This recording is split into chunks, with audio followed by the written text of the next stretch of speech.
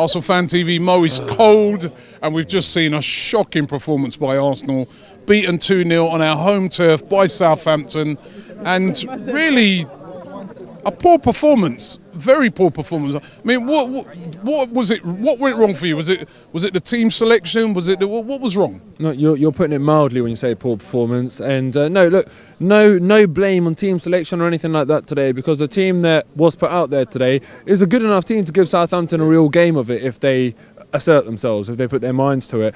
And today, look, you know, the, the truth is, I don't, I don't really think many Arsenal fans care about this competition too much. Yeah, of course it'd be nice to I win care. it. Oh. I care. I mean, what's the point then in me going to Nottingham Forest and away and all those, you know, getting back home at like four in the morning? It's 'cause You we know, love but Ar- what- what's the- Robbie, what's the listen, point? It's because we love Arsenal. We can win this competition. It will never give us. It will never give us the same level of joy and satisfaction as the FA Cup, as the Premier League, as the Champions. League. So we, It we won't, but it's a trip to Wembley. I, I, I remember when we went there, listen, well, Birmingham, I mean, we got beaten that, but I'm simply I, was, I wanted to win that game. Listen, I, I want to win every single game that we play, but I'm simply stating facts that I don't think a lot of fans care about this too much. You know, it's one of those nice to win, but we're not desperate to win it. There's not that real hunger to win it. And unfortunately, that was also shared by the team today. You know, that what I'm saying there.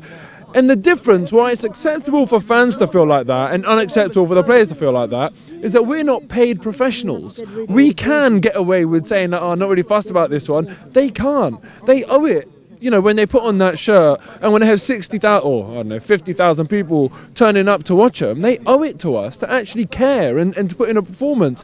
You can't, you can't rock up and perform like we did in that first half and, and deem hmm. that to be I mean, acceptable. the first half, I didn't see one Arsenal player press a Southampton player, not even once. It was shocking. You know, I mean, Uh, even on a Sunday league, you'd kind of say, right, let's test the keeper early. You know, just I mean, that, that's not any gr- ground-breaking tactic. You know, let's just give their keeper something to. To, to do in the first five or ten minutes, we didn't have a shot on target in the first half. It was really, really just timid. It was. What, it what do, what do you make of like you know? I don't know. You've just come here, but earlier on, some of the interviews, some of the fans going in hard on a couple of players in particular, Ramsey, uh, Jenkinson as well. Those two in particular really, you know, got a lot of fans upset today. I mean, do you think they're being made scapegoats, or do you think that their performances tonight warranted them getting a lot of criticism? Arsenal fans love a scapegoat, yeah, and I don't like to come on here and uh, and really rip into players unless I feel like the player has shown zero effort or has done something that I, I really feel as though is like unacceptable based on like the the culture of, of this club or the expectation of fans or whatever. If a player has had a bad day, yeah, look, I can forgive that. And with Ramsey, right, he, he did have a bad day, and it's the second time I'm saying it now. Ramsey did have a bad day, but as I said last week, it's hard, even when you're in your preferred position, to come in without a run in the team and play to your potential. We all saw Ramsey at the Euros, and we know there's a good player there, but it's not easy to come in, even if it is in your best position. I'm, I'm accepting that he wasn't on the right wing or left wing today, and to play brilliantly when you don't get a run. So, look, it'll take him three or four, five games maybe, and then we can start saying, all right, do we judge him? But listen, even if I was to analyse him on the fact that it's really his second game in a position that is, or, you know, he, like, if I was to judge him and say, look, he's playing in his preferred position against an opposition that he should be doing better against, was it acceptable today? No, it wasn't acceptable today. Ramsey himself, we disappointed. But the one thing that annoyed me about Aaron Ramsey today is that pathetic dive in the 81st minute. If you're not strong enough, if you're not skillful enough, if you're not quick enough to beat your man, hit the gym, hit the training pitch. Don't resort to diving.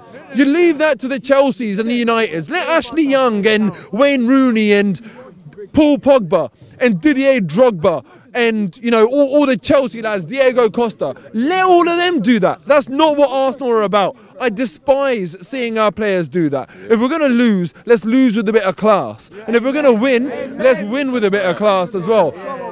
And listen, you know that that's the thing that wound me up about Ramsey. And if we're gonna criticise him for anything, it should be that. Play like a real man. You know, I I, I hate the diving, and that's not what Arsenal are about. And as for Jenkinson, we all just need to lay off him. And, and the reason I'm saying that is because he is not of the caliber of a Champions League player and a Champions League team.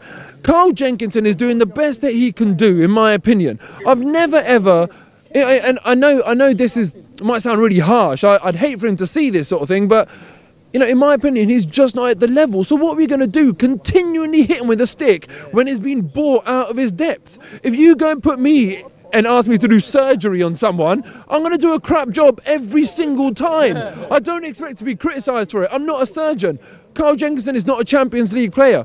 We signed him for one million pounds from Charlton, and we're getting a one million pounds from Charlton player. You know, so let's not be unrealistic about what to expect from Carl Jenkinson. I just, uh, with him. I just think I'll support him all the time. Every time I watch him, every time he's on the pitch, I'll support him. I know how much it means to him, so I'm not going to boo him. I'm not going to slate him. I don't think he's at the level, so all I can do is offer him my support, not continually beat him with a stick. But the one thing I want to say today, really in summary, is that it was rubbish. Yeah, I get that, and I get that people have bad days at the office.